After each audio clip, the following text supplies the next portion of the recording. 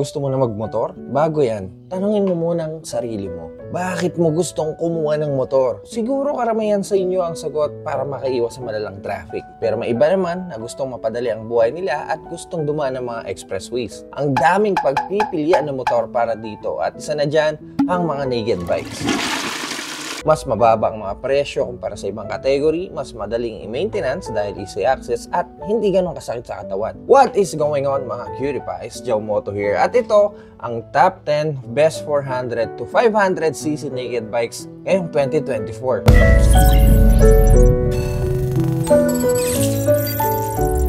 Dating gawi, nakain lang sa presyong listahan na to. Kaya umpisa natin sa medyo pricey hanggang sa pinakamura. Also, sa dami ng options ngayon para sa topic na to, pumili lang tayo ng deserving para mapasama sa top 10. Kaya wag na kayo magtaka kung bakit wala ibang motor dito. Umpisahan natin sa Honda CB500F na may presyong 379,000 pesos. Disclaimer lang, sa oras na pinapanood nyo to, hindi pa ito yung 2024 model na pinakita noong EICMA. Ito pa yung 22 to 23 model ng Honda Philippines. Kailan ang labas? Wala pa tayong bulong galing Honda PH pero mukhang nalalapit na din kasabay ng mga ibang motor na nilabas sa EICMA tulad ng bagong CB650R. Anyway, gumagamit ng 471cc displacement, parallel twin na may 47 horsepower, 43 Nm of torque at may bigat na 189 kg.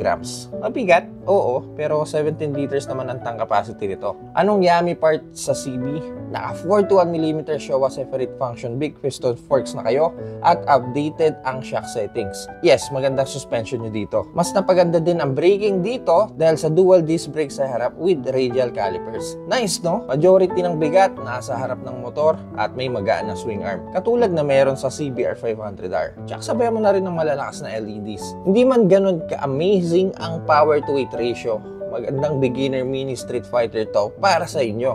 Malay mo, baka mas matripan mo yung bagong darating na CB500 Hornet. Pero asahan din natin na bahagyang may price increase. Next, ang bagong Naked Sport galing Team Green, ang Kawasaki Z500 sa presyong 329,000 pesos. Sa standard version at 355,600 pesos naman sa SA version. Kalimutan nyo na ang Z400 dahil may Z500 na. Well, hindi naman talaga siya 500cc dahil 451cc ang displacement nito na nakaparallel twin. Hindi ba dapat ang tawag sa kanya Z450? Dahil sa mas pinahabang stroke galing sa makina ng Ninja 400, mas napaganda ang torque ng Z500 na may 43 Nm at 7,500 RPM. Nirevise na rin ang balancer shaft para mabawasan ng bahagya ang vibration sa takbuhan at assist and slipper clutch para hindi stressful ang back torque while engine braking. Pero teka, kapansin-pansin sa bagong Z500, eh itong bagong mukha niya. Ang ganda, di ba? Mukha siyang Power Ranger. Pero seryoso, tuwa ako sa bagong headlight. Bago din ang taillight, mas malaki na din ang diameter ng disc brakes. For standard version, naka full LCD instrumentation kayo with smartphone connectivity. Ito yung 329,000 pero sa SE na 355,600 pesos, naka TFT dash ka na dito. Ito ang paborito ko sa kanya. Meron na din kayong undercowl, LED turn lights, meter cover, USB charger, radiator screen, tank pad, seat cowl, at frame sliders. Ano sa palagay mo? Okay na yung standard o mag-add ka lang ng 26,600 naka-SE ka na. Pero dude, kailangan nang mawala ng conventional telescopic fork. Next is the Triumph Scrambler 400X for 339,000 pesos. Kung yung dalawa e naked sport, dito naman tayo sa Scrambler galing sa British brand. Ginawa para sa mga rider ng gusto ng adventure sa buhay na may retro vibe. Ito yung unang beses na naglabas ng low displacement ng Triumph in collaboration with Bajaj. 400cc single cylinder na may 40 horsepower, 38 Nm of torque at may bigat na 179 kg. Dahil medyo off-road oriented ang Scrambler, mataas ang seat height nito na may 835 mm. Pero huwag ka mag-alala, Malambot naman ang sag ng suspension sa rear so bumababa kapag nakaupo na kayo. Off-road ready ang mga foot pegs, brake pedals at handlebars so madaling tumayo sa motor. May mga cover na din for your headlight at radiator para sa mga small debris sa daan at may charging port pa kayo. Pwede din patayin ang traction control for off-road use, mataas ang ground clearance with skid plate at 19 inches wheel sa harap, sabay mo pa ng dual sport tires. Dahil naka single cylinder Scrambler 400, expect wala masyadong wow factor sa tunog at medyo ma-vibrate in high RPMs. Mataas din masyado ang seat height for average Pinoy height. Susunod ang Husqvarna Smartpilot 401 at Fitpilot 401 sa presyong 325,000 pesos. Katulad ng sinabi ko kanina, By the time na pinapanood nyo to, eh lumabas na ang bagong Sport Bit. Pero sad to say, hindi pa nakakarating dito sa Pilipinas. Kaya babagating ko muna kung anong meron dito sa atin ngayon. Parehas na gumagamit ng 373cc single cylinder na katulad na meron sa KTM Duke 390 na may 44 horsepower at 37 Nm of torque. Kung fan ka ng mga modern retro, this one's for you. Nag-stand out ang dalawa dahil sa unique styling na nilagay ng Husky sa kanila. Parang motor ni Robocup. Round LEDs, round LCDs, tangke na may kakaibang hulmahan with ready lagay ng bags, panalo itsura nito. Ginawa ang Smart Pilen for comfy rides at slide off-road na parang scrambler kaya siya naka-dual sport tires habang street-oriented naman ang Bitpilen na naka-clip-on sa handlebar at road tire na para bang cafe racer. Patok din as beginner bike dahil sa gaan at itsura ng mga to. Yun nga lang, malit masyado yung dalawa. Halos parehas lang ng mga 200cc nila. At hindi din ganun ka-exciting ang tunog. Pero hey, nag-offer ang ibang dealer ng discount ngayon para sa dalawang motor na to for only 290,000 pesos. At kung makapaghintay ka pa, baka ilabas na soon ang updated version. Mas panalo yun. Hindi ko lang alam kung kailan. Next, ang KTM Duke 390 for 318,000 pesos. Ito pa din ang parehas na Duke na nakita natin way back 2018. Pero this 2024, binago nila ang itsura ng Duke 390 pero wala pa ding update kung kailan ang lapag sa Pilipinas. 373cc single cylinder, 43 horsepower, 37 Nm of torque at may timbang na 153 kg. All three bikes na binanggit natin ay naghihiraman lang ng platforms. Pero ito yung naked sport version. Lightweight bike, torquey at magandang itsura. Well, kung 5 years mo nang nakita to sa daan, darating tayo sa point na, syempre, nakakasawa din. Pero alam mo kung anong panalo? Yung bagong KTM Duke 390. Revamp ng engine, mas madaming features at tech, at mas magandang styling. Kailan ba kasi lalabas to? Alak ng... Next ay ang Royal Enfield Scram 411 sa presyong 311,000 pesos hanggang 315,000 pesos, depende sa hulay. Motor na galing sa Indian manufacturer na gumagamit ng 411cc, single cylinder, air-cooled na may 24.3 horsepower, 32 Newton meters of torque na may bigat na 185 kilograms. Not to mention, 5-speed lang scram. Ginawa on and off-road, kaya scram ang pinangalan sa kanya. Ubad na version ng Himalayan. Enough na ang scram for your daily needs. Pamasok, tambike, breakfast rides, at kung sakaling ipanglalayo mo with off-road, Pwedeng pwede dahil nakarayos kayo dito. Skid metal plate, 19 inches sa harap, 70 naman sa likod at naka-dual sport tires. Pero narinig nyo yung numbers na binanggit natin kanina. Aminin na natin, hindi ganun kaganda ang power output niya at 5 speed lang to. Panigurado, iwan ka sa mga group rides. Pero forma at off-road ventures,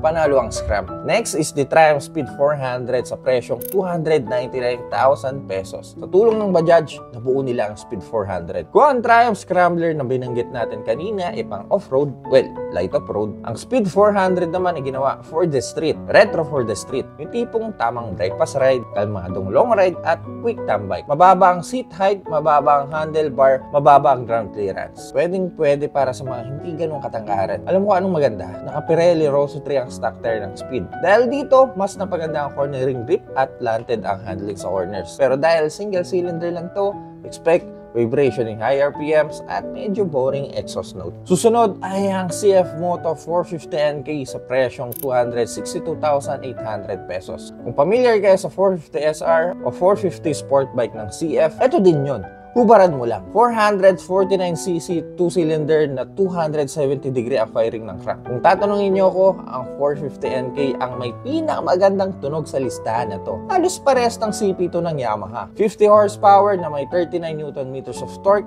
at 165 kilograms lang. Dude, those are great numbers. Mala kontrabidang headlight at slick bodywork ang ginawa ng CF Moto dito. Lightweight bike na smooth ang engine response. Panigurado ako, mag-enjoy ka dito dito. Price point is quite competitive as well kumpara sa ibang competitors niya. Yun nga lang, pumapalo ako ng 18 to 19 kpl as per reading nung ginamit ko to sa Mountain Province. Malakas para sa displacement niya pero 14 liters naman to at enjoy gamitin kaya pwede na. Chinese bikes are evolving at isa ang CF Moto sa nakapagpatunay dito. Second to the last ay ang Kawasaki Bajaj Dominar 400 UG2 sa presyong 208,900 pesos. Sino ba naman ang hindi nakakakilala kay Mang Doming? Karoon na ng trademark ang motor na to bilang isa sa reliable budget expressway legal bike ngayon. Bakit UG2? Variant to ng latest model ni Doming na may mataas na windscreen, handguard, bracket para sa top box, USB charger, at metal base plate. Bihis na ready pang lakwatsa.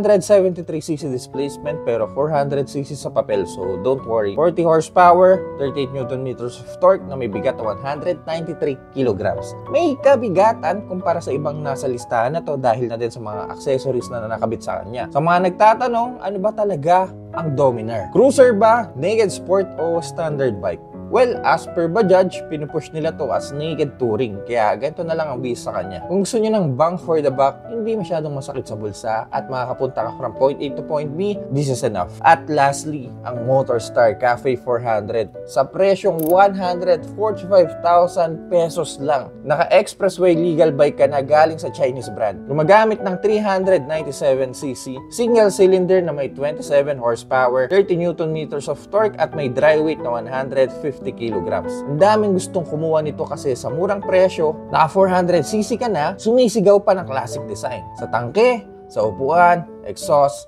headlight, analog instrumentation, so on and so forth. At madali siyang bihisan. Meron na ding fuel warning, pass switch, nakarayos, single front sa harap at drum brake sa likod. Don't worry, hindi din naman ganun kalakas ang power band nito. 19-inch front wheel at 18 naman sa likod with 6-speed gearbox. Dude, maganda gawing project bike to ah. Sa mga nakaka-cafe 400 dito, let us know kung kamusta ba ang reliability ng bike in the long run. So that's our top 10 best 400 to 500cc naked sport sa Pilipinas for 2024. Let me know what you guys think about the bikes at kung isa kayo sa mga all yung mga nabanggit, share nyo naman sa comment section yung experience nyo. Kung nag-enjoy ka sa video na to, kindly leave a like at kung mahilig kayo sa mga ganitong content, huwag kang mag-alala dahil nasa tamang channel ka, akong bahala sa'yo. So make sure to press that subscribe button dyan sa baba.